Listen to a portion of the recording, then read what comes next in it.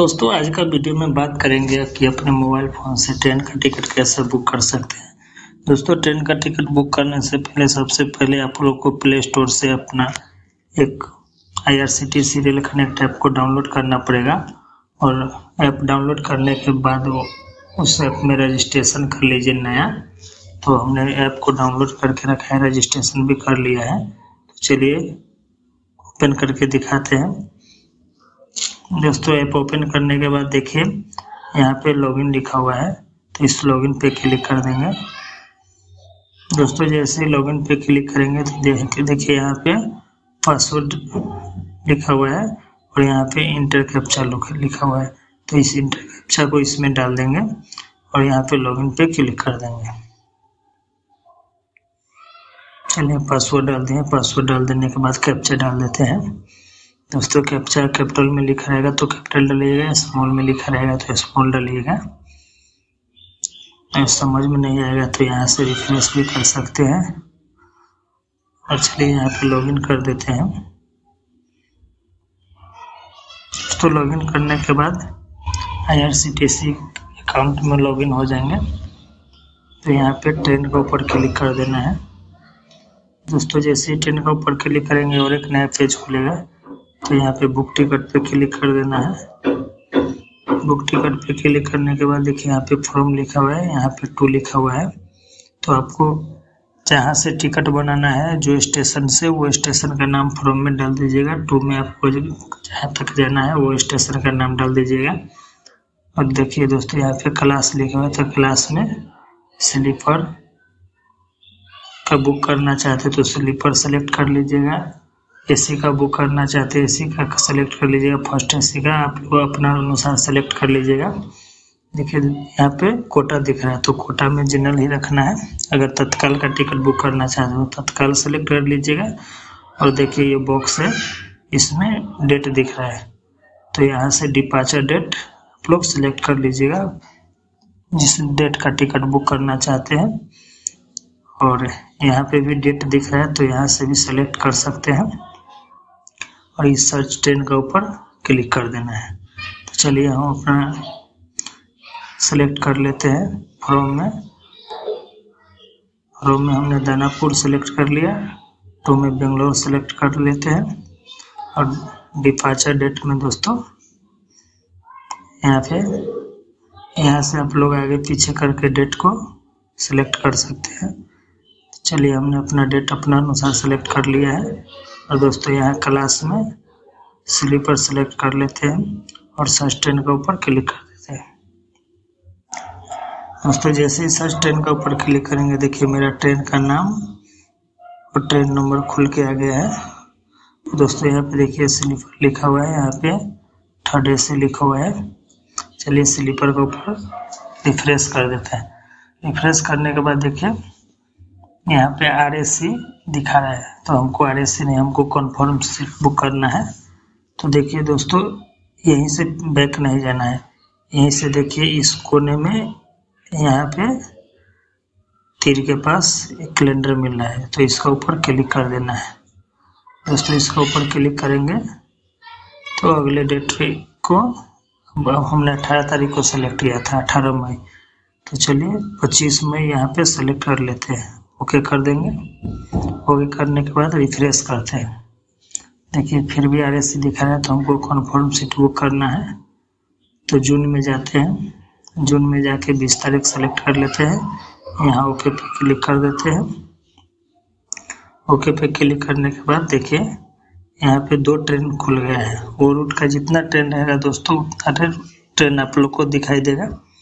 तो हमको यही ट्रेन में बुक करना है। संगमित्रा एक्सप्रेस और यहाँ पे वैशाली हम सफ़र एक्सप्रेस है सॉरी चलिए संगमित्रा एक्सप्रेस पे रिफ्रेश पे क्लिक कर देते हैं।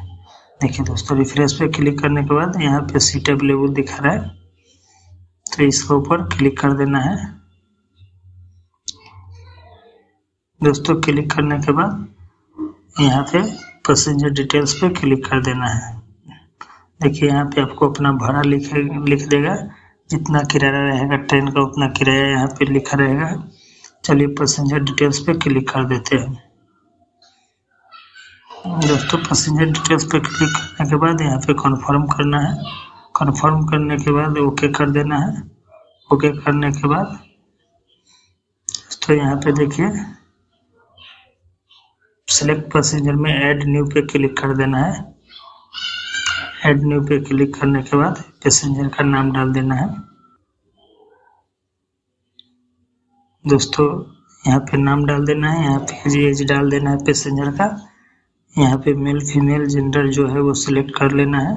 यहाँ नेशनल में इंडियन ही रख देना है और यहाँ पे बर्थ प्रीफरेंस सेलेक्ट कर लेना है। तो चलिए हम पैसेंजर का नाम एज सेलेक्ट कर लेते हैं।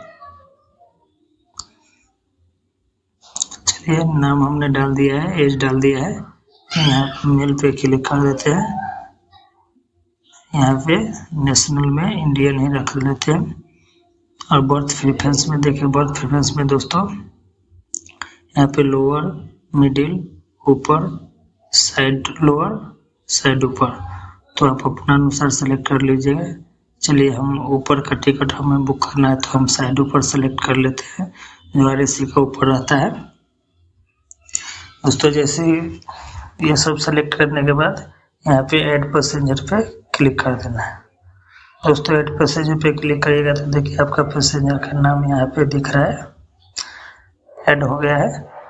और और दूसरा पैसेंजर का नाम ऐड करना है तो देखिए ऐड न्यू पे क्लिक कर दीजिएगा। और उसके बाद दोस्तों, यहाँ पे पैसेंजर का मोबाइल नंबर डाल दीजिए। यहाँ पे ऑटो ऑपरेशन में यहाँ पे टिक कर दीजिए।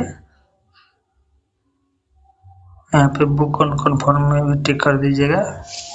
ऐसे आप छोड़ भी सकते हैं प्रॉब्लम नहीं है।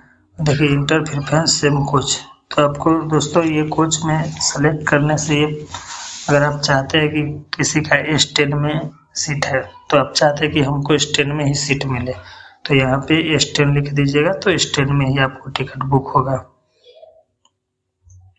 दोस्तों, यहाँ पे रिजर्वेशन चॉइस में नॉन ही रखना है। थोड़ा ऊपर जाते हैं। उसके बाद देखिए यहाँ पे पेमेंट करने के लिए बोल रहा है।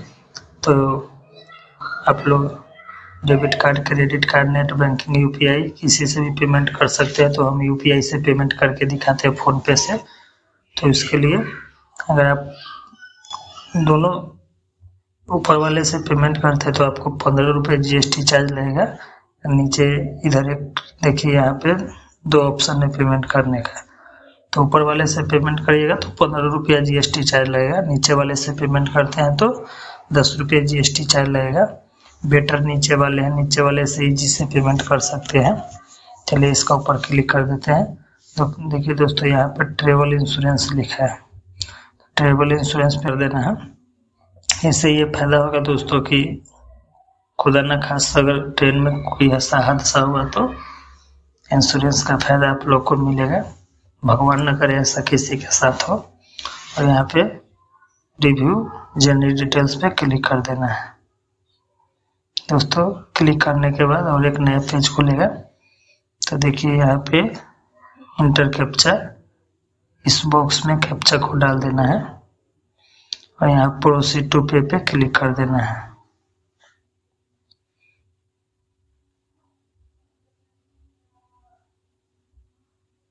चलिए हम कैप्चा डाल देते हैं।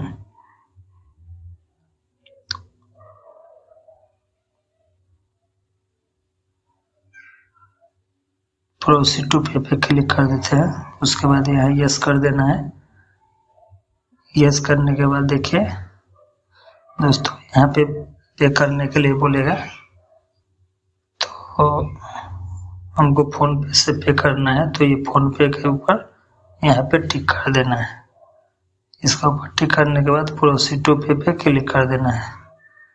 दोस्तों प्रोसीड टू पे पे क्लिक करने के बाद देखिए यहाँ पे फ़ोन पे, गूगल पे, भीम यूपीआई किसी से भी आप पेमेंट कर सकते हैं। तो चलिए हम फ़ोन पे से पेमेंट करते हैं। तो इसका ऊपर क्लिक कर देते हैं। यहाँ पे पे कर देते हैं। दोस्तों, पे करने के बाद थोड़ा सा टाइम लगेगा देखिए यहाँ पे अपना पासवर्ड डाल के पेमेंट कर देते हैं। दोस्तों हमें टिकट बुक नहीं करना था। डेमो के लिए आप लोग को